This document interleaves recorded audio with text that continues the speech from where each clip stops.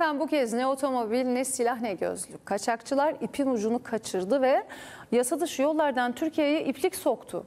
Polis baskında ele geçirilen 30 milyon değerindeki binlerce makarayı emniyetin bahçesinde sergiledi.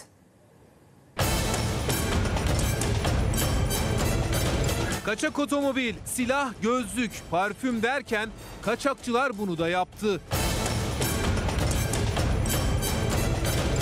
İplik operasyonunda ele geçirilen binlerce makara emniyette böyle sergilendi. Kaçak silahlar, uyuşturucu maddeler İstanbul Emniyet Müdürlüğü'nün bahçesinde yıllardan beri bin bir türlü suç unsurları sergileniyor. Ancak bu kez polis çok daha ilginç bir operasyona imza attı. Kaçakçı Suriyeliydi. Bu ipleri çorap yapıp satacaktı.